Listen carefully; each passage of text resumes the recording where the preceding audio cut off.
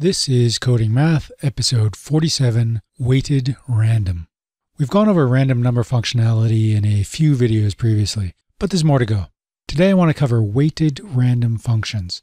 A weighted random function is a way to define several random outcomes and choose one of those randomly, but in a way where you can say some outcomes are more likely to occur than others. You can do this down to a very fine degree of precision.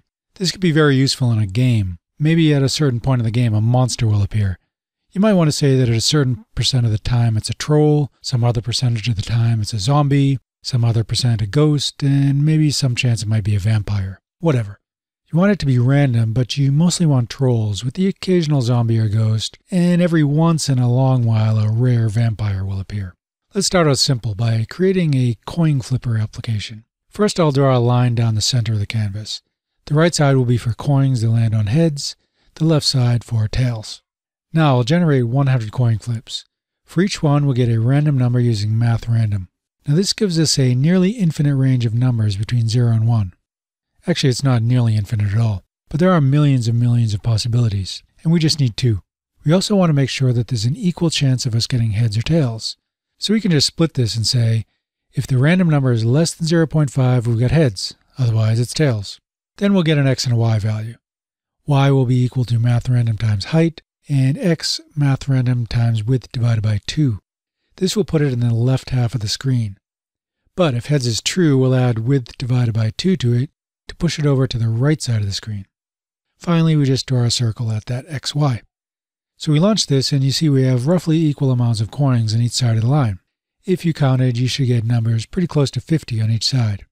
Now we could have said if math random is greater than 0.5, but remember that math random returns numbers from 0 inclusive up to 1 exclusive. That means you could theoretically get 0 as a result, but you'll never get exactly 1.0. It will always be slightly less. So we want to include 0.5 in the upper range. That gives us 0 to 0.4999 as one choice, and 0.5 to 0.9999 as the other choice. Equal number of values in each range. So we say less than 0.5. If we were to include 0.5 in the lower range, that would give us a range of 0.5, and the upper range would go from something just above 0.5 to 0.999. This would give us a range of something under 0.499 and create a nearly imperceptible bias towards the lower range. Not enough to matter in most applications, but we'll keep ourselves honest. But this is a good segue into the next point. Say that instead of 0.5, we said if math random is less than 0.4. This actually gives us a pretty significant bias towards tails. Actually, we have a 40% chance of getting heads and a 60% chance of getting tails. Let's see if it's noticeable. We'll flip a bunch of coins, and it's not super obvious, but you should be able to see that there are more coins on the left side. If we change that value down to say 0.2, then it becomes quite obvious. So we've just created a trick coin, a very accurate one. Okay, that was easy enough for two choices, but what about more? Let's say that in some game a player can win a prize by spinning a wheel or defeating a monster or something. Most of the time they're going to lose, say 75%. There's a 20% chance that they'll win one gold piece, and just a 5% chance that they'll win a treasure chest. So we can code this up perfectly to those percentages. We'll start by listening for a mouse click and then generating a random number called rand. Now, 75% of the time we want the play to lose. So we say if rand is less than 0.75, console log you lose. Easy enough. Now, 20% of the time, they need to win a gold piece. So we can say that if the random number is between 0.75 and 0.95, that's what they get. Now here, we don't want to simply say greater than 0.75, because if the value winds up being exactly 0.75, it'll fall through the cracks here. So we can't say else if rand is greater than or equal to 0.75 and rand is less than 0.95. And in that case, we tell the lucky player what they just won. Actually, though, we already know that it's greater than or equal to 0.75 because we already handled the less than 0.75 case. So we can just say else if rand is less than 0.95. Now, to handle that last 5%, we know it's going to be greater than or equal to 0.95, in less than 1, so we can skip the if and just say else and log the result. So we run this and we click a bunch of times, and you see we're mostly losing, but sometimes getting a gold piece, and once in a blue moon, getting the treasure chest. It should average out to about one treasure chest in 20 or so clicks. You might get more or less than that in any given run of clicks, but eventually it'll average out to the given percentages. Well, that's all pretty straightforward, but not very elegant. Say we decide that the users are winning too often, and we want to make them lose more. But when they do win, we want the odds of a treasure chest to be a bit higher. Maybe 80% chance of losing, 13% chance of gold piece, and 7% chance of a treasure chest. We'll have to change the first if statement to read less than 0.8. The next one, the gold piece, is 13%. So we'll have to add 0.13 to 0.8, so it goes from 80 to 93%. So we change the 0.95 to 0.93. The last one stays the same.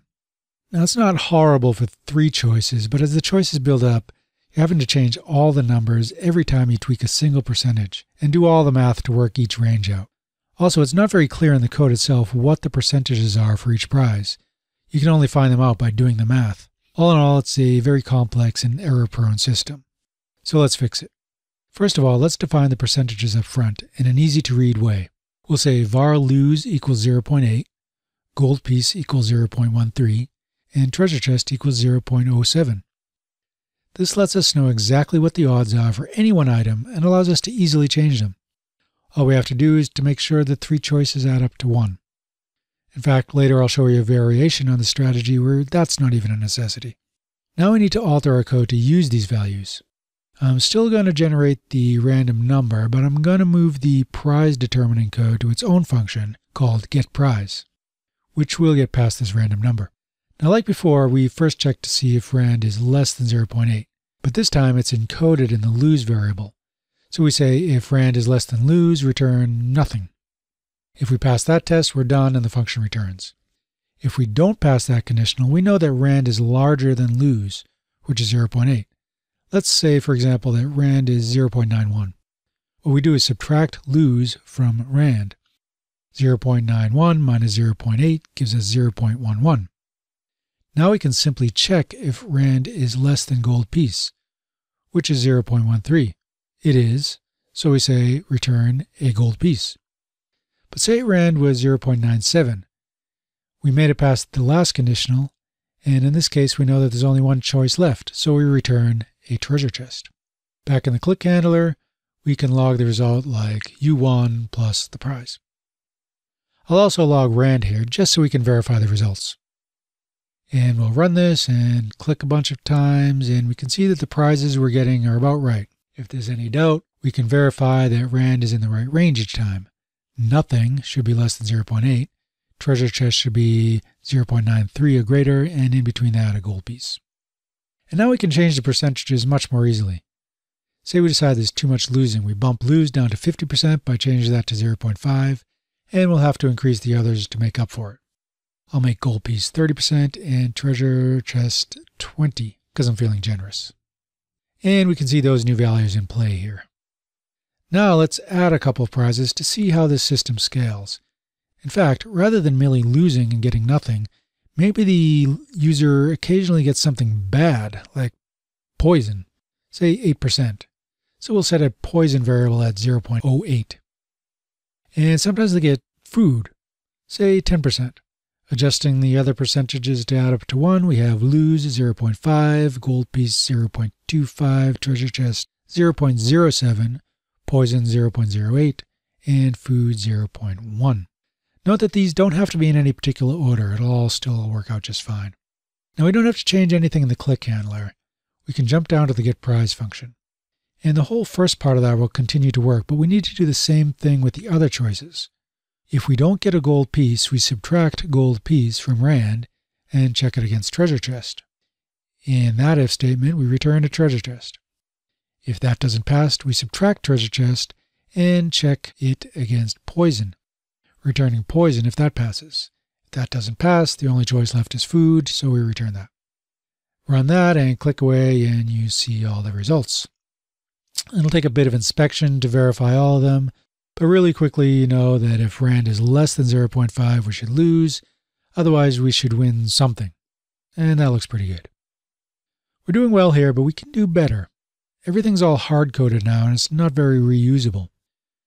But what we're doing can be converted into an algorithm. We're checking if rand is less than the first value, and if so, returning something related to that. If not, subtracting that value and moving on to the second value and doing the same thing. So what we can do is convert the choices into an array of objects.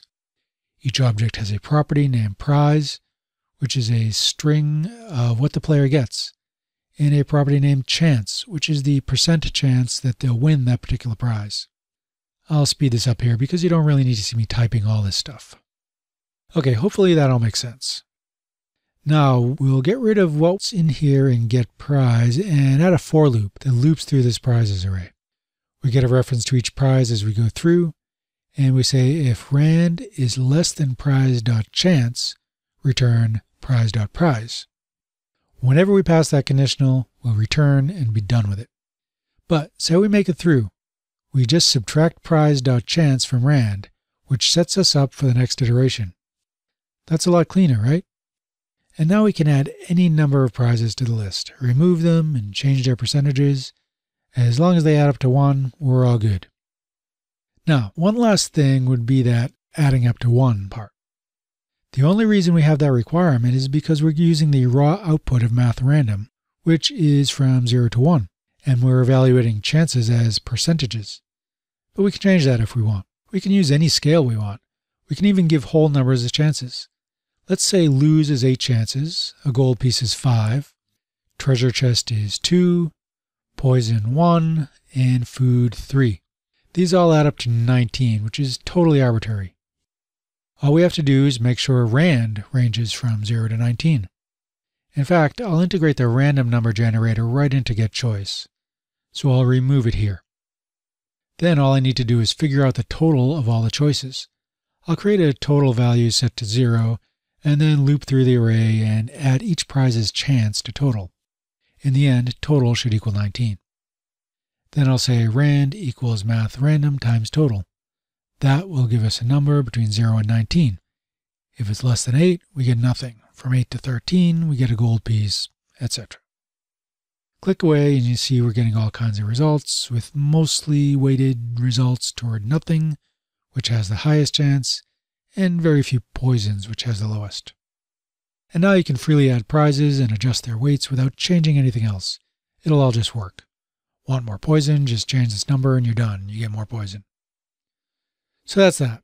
Sorry if it's not very visual today, but this is still a super useful technique. In fact, we'll use it in one of our next fractal videos, which will be quite visual indeed.